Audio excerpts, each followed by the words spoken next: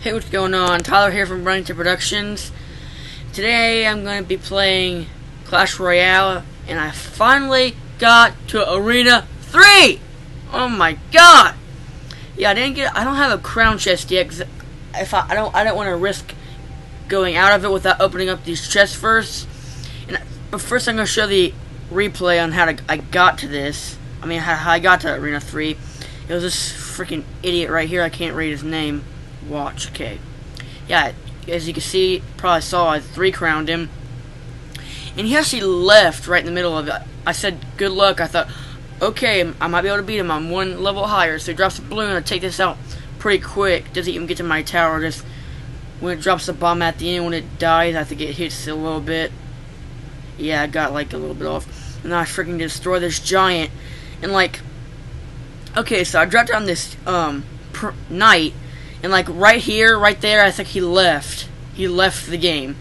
And I got so freaking happy. I didn't know if he was going to come back, but even if he did, I already got that tower down. All I had would, have to do is defend. And I, I was just so happy. Because I, I want the freaking barbarian so bad. I was laughing. I said, thanks, laugh some more. Oh my god. Sorry if you can hear that background noise. It's air conditioning. Yeah, anyway. Okay, I'm gonna open up these chests. This is the moment of truth. Come on. Come on. Come on!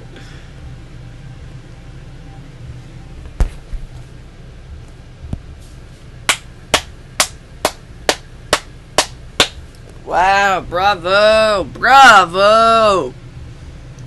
Woohoo! Oh my god. Are you kidding me? I have to do more battles now. Oh my god. oh my god.